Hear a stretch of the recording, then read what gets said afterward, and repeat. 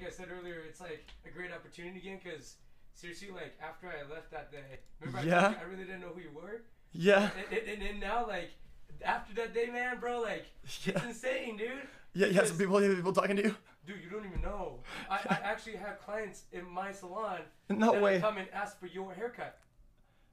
Chat? You, you know what I mean? Like Really? asking for your haircut. Ah, interesting. I did not know that was that actually happened. Yeah, so like, well, thank you. You know, like you did bring me business. You know. And, Oh, that's uh, cool, yeah. Yeah, so like I really appreciate that, and even family and friends that I didn't know that they watched you. They're like, "Hey, Cooney, were you were you on xQc stream?" I'm like, "Oh, you know that guy?" He's like, Wait, "Bro, really? You don't even know who he is. I'm like, "Well, now I do now." you know? That's interesting. It was like that. So no, I appreciate you, man, for just being. Oh, no, you got it. Being who you are, dude. Um. I did have fun, you know, the, the other time coming here and. Oh yeah, yeah, it was definitely a lot of fun.